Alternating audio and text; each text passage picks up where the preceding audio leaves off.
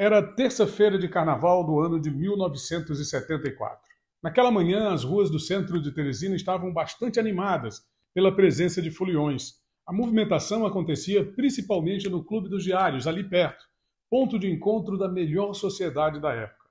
Também era possível ouvir os ecos da folia provenientes dos bairros mais próximos, como Pissarra, na Zona Sul, e Vila Operária, na Zona Norte. A maior festa popular do país era uma grande predileção do teresinense, que tinha, inclusive, suas próprias tradições, caso, por exemplo, do Corso, desfile de carros animados que percorria as ruas da cidade na semana anterior ao carnaval. O destaque do desfile era para o carro das raparigas, da rua Paissandu, que chocavam a todos pela ousadia. O advogado René dos Santos Rocha Pinho chegou ao seu escritório naquela manhã, como sempre, muito animado. Iria aproveitar o dia para rever alguns documentos e se preparar ao enfrentamento de vários casos dali a dois dias, após a quarta-feira de cinzas. Faltavam 13 minutos para as nove da manhã, conforme a sua secretária Francisca Ferreira do Monte informou.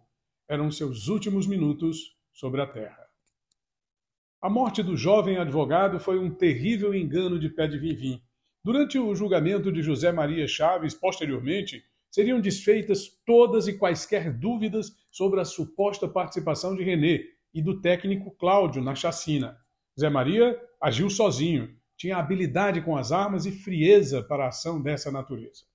Filho do senhor Francisco Bezerra de Pinho e de dona Silvia Santos Rocha Pinho, René era casado, pai de dois filhos, formado pela Universidade Federal do Piauí e, como já se disse aqui, pertencia a uma tradicional família de advogados.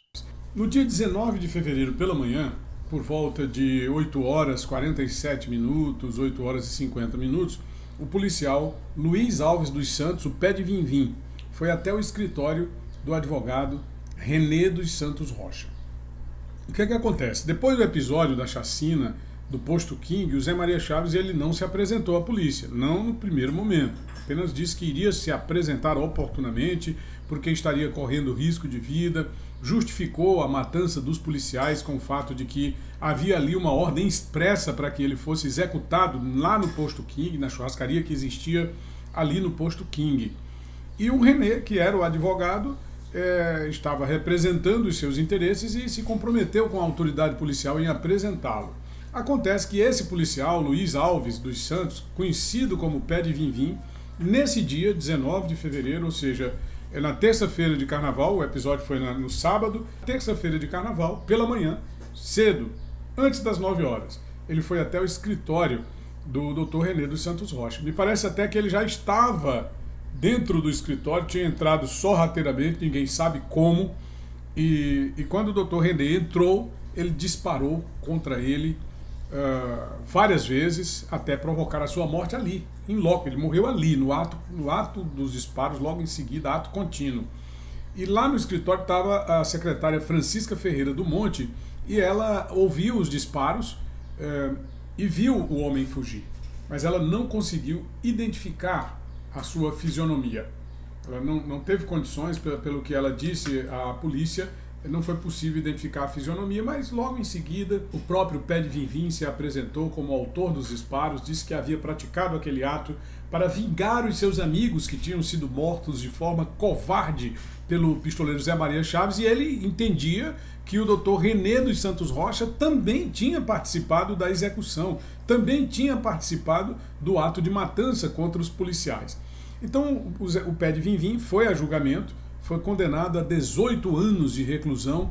O juiz que presidiu o Tribunal Popular do Júri, no caso do Pé de Vinvim, foi o juiz José Carneiro Neto, tendo como promotor o doutor Valdir Guimarães. Mas atuaram também como assistentes da acusação os advogados Paulo Santos Rocha, Iracema Santos Rocha, Guido Santos Rocha e Nicolau Joaquim Neto, porque a família Santos Rocha ela tem uma tradição são pessoas que atuam como juristas há muito tempo, então eles são tradicionalmente é, é, ligados ao mundo jurídico. Então, três familiares do René dos Santos Rocha atuaram na assistência da promotoria, o que foi determinante para a acusação, do, para a acusação contra o pé de Vivim e, consequentemente, a sua condenação. Depois ele reclamou para a imprensa, isso está registrado no jornal O Dia e num belíssimo artigo escrito pelo nobre professor Reinaldo Coutinho.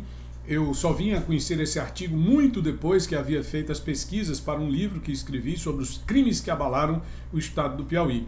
E ali ele confessa, né, desabafa, na, na verdade, para o, a imprensa, está no jornal O Dia, do, seu, do dia do seu julgamento, logo depois ele, conversando com jornalistas, disse que ficou muito triste, muito humilhado, porque o Paulo Santos Rocha o chamou de muitos nomes feios, o xingou e, e o tratou com, com um tom de, de muito deboche, porque é, era o estilo né, da, da acusação de, além de condenar a vítima, torná-la uma pessoa reles, infame ao réis do chão. Se você gostou desse vídeo, deixe o seu gostei, se inscreve no nosso canal e ative as notificações para receber informações toda vez que eu publicar um vídeo novo. Tony Rodrigues, Além da Notícia.